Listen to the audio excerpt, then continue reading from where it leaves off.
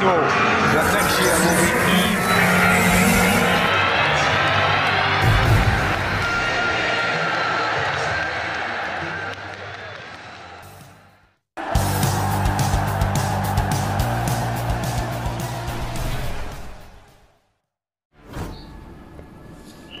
From Spain, United eyed 30 million pound swap for brilliant midfielder labeled the next Iniesta. Manchester United are reportedly interested in signing Celta Vigo midfielder Gabriel Veiga, according to AS, United and Arsenal, and keeping tabs on the Spaniard.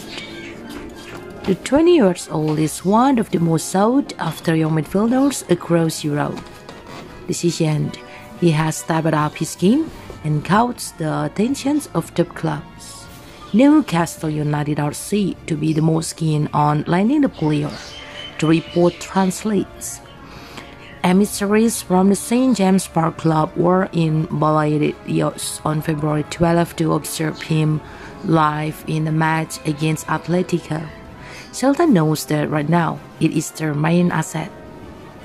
At the Celestial headquarters, they are convinced that the midfielder from Porriño, Pontevedra, will become the highest transfer in their history.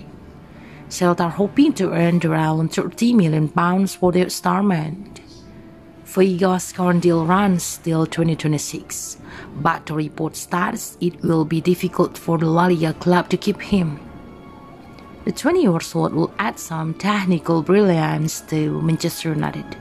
He has the potential to develop into a world class midfielder under the proper guidance. For 30 million pounds, United should gamble on this talented prospect. In other news, Erik ten Hag has seen defeat by Newcastle in the Carabao Cup final won't derail Manchester United's progress. Although he's hopeful he can win his first trophy in England to have a positive impact on the team. Jose Mourinho was the last manager to win the trophy at Old Trafford. The Europe League in 2017, the club is currently suffering its worst trophy drought in over 40 years. But Ten Hag has the opportunity to end that barren run this weekend. United will take on Newcastle at Wembley in the final of the Carabao Cup on Sunday afternoon. And Ten Hag's side are the favourites to lift the League Cup trophy, which the Reds last won against Southampton, also under Mourinho in 2017. Ten Hag discussed the importance of winning his first trophy in Manchester, but he also warned that the defeat at Wembley on Sunday will not derail his rebuild. It's massive winning first trophy, but first you need to get the first one, Ten Hag said.